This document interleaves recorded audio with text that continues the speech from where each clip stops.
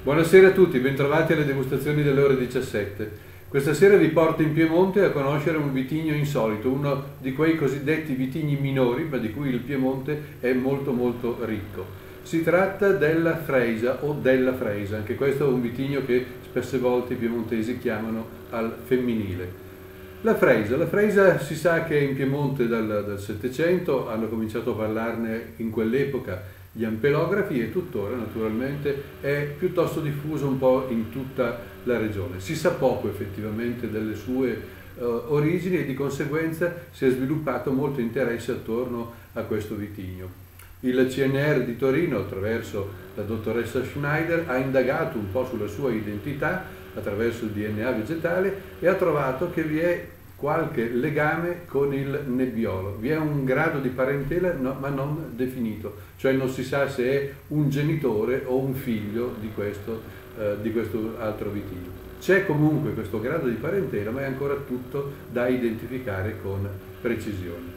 È un vitigno estremamente generoso e di fatti i produttori hanno sempre il problema di contenerlo un pochettino, di limitare un po' la sua esuberanza. Una foglia più larga che, che alta, ha dei grappoli abbastanza piccoli con, di forma troncoconica, qualche volta con qualche ala e ha degli acini da medio a piccoli, un po' secondo dei biotipi che esistono sparsi un po' in tutto eh, il Piemonte. Ha una sua ricchezza eh, varietale, diciamo così, data dai caratteri molto molto spiccati del vitigno che ha una forte acidità e anche una fortissima ricchezza tannica. Questa è un po' la sua caratteristica.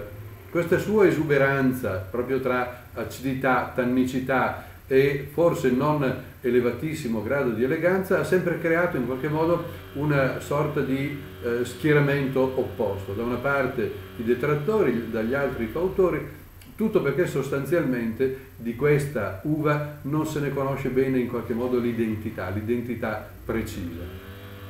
Qualcuno l'ha sempre utilizzata per farne dei vini semplici spumeggianti, qualcun altro invece l'ha sempre utilizzata per sostenere un po' la barbera. Anche nella barbera qualche volta aveva bisogno di un pochettino di tannicità e certamente la fresa veniva in suo soccorso. Chi si è posto naturalmente il problema di identità di questo vitigno è certamente Aldo Vaira.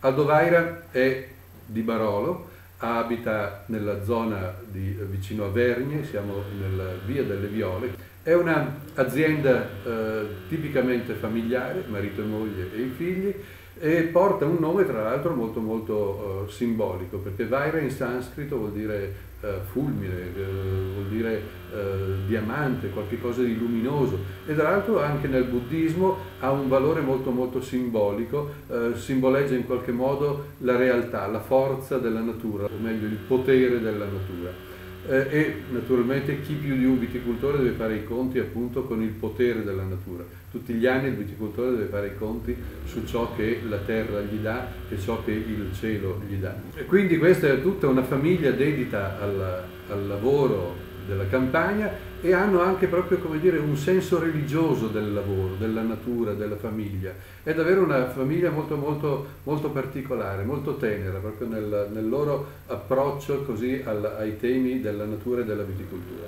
E quindi proprio da Aldo Vaina naturalmente eh, si è chiesto il problema, chi è la Freisa? Ed ecco che appunto gli ha dedicato un vino che appunto si chiama Chi è?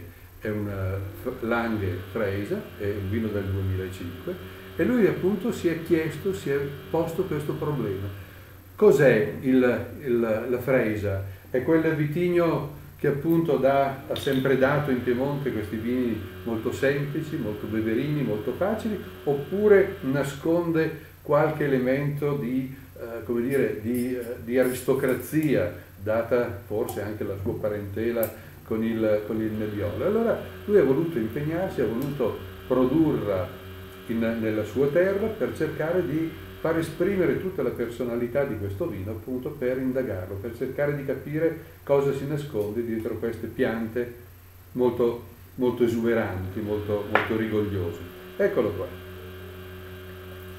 Questa Freisa del 2005. È un vino eh, di, di, di, di, notevole impegno, eh? non pensiate che la famiglia Vaira abbia fatto questo vino così per, per, per, soltanto per provare a fare un vino, un vino strano, un vino diverso. No, no, loro eh, usano praticamente tutta la loro eh, capacità, la loro attenzione, la loro cultura per produrre qualsiasi vino, dal più prestigioso Barolo Bricco delle Viole al più semplice appunto dei vini che loro producono. Questo è certamente un vino che si pone davvero degli interrogativi. Allora andiamo subito a sentirlo, ad annusarlo, ad assaggiarlo per cercare di capire cosa ha trovato Aldo Vaira in questa freggia.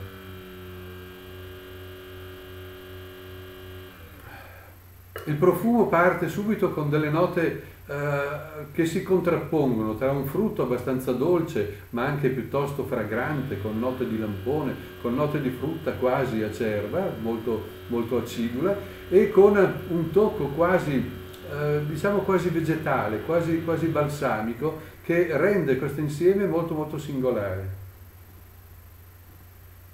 C'è poi una bella speziatura piuttosto viva, piuttosto vivace, quasi piccante, un pochettino pepata, che anima molto la, la sensazione olfattiva. Eh? E poi vi è anche un notevole eh, incursione floreale che dà proprio dei toni abbastanza vivi. C'è la violetta qua, al contrario del nebbiolo che regala la sua dolcezza con la rosa, qui c'è una, un carattere invece un pochettino più nervoso, un pochettino più eh, mosso, un pochettino più dinamico, dato appunto dalla, dalla violetta. È un bel insieme di profumo molto vivo, molto vivace, costruito attorno a tutti questi elementi piuttosto vivi, vivaci, non, non certamente morbidi e quietanti, non molto accomodanti, diciamo.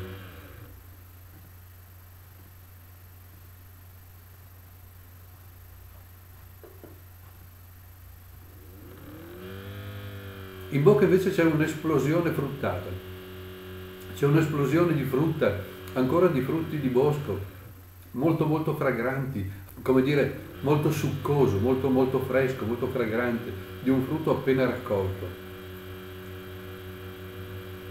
Anche la tannicità è molto, molto sensibile in bocca, è una tannicità fitta, minuta, ma molto molto agile, che si muove, dà un bel dinamismo in bocca al, al sapore e al gusto. Anche la tannicità in bocca anima molto la sensazione gustativa, è un tannino eh, piccolo ma graffiante eh, che tiene molto molto sotto pressione la bocca, la tiene continuamente animata, continuamente sensibile alla, alla, alla sua grana.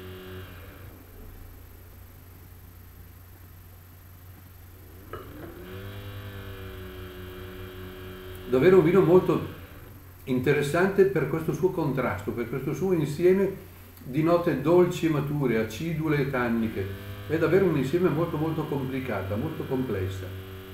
Anche dopo averlo riassaggiato tante volte è davvero difficile trovare l'essenza della sua personalità, l'essenza della sua identità. Certamente non è un vitigno facile, non è un vino accomodante, è un vino molto interessante che suggerisce continuamente ripensamenti, riflessioni sul, sul gusto, sui profumi, sul senso di una viticoltura così ricercata, così particolare, così di nicchia, ma eh, ricca, ricca perché appunto ci dà delle sensazioni nuove, sempre diverse e sempre molto molto interessanti.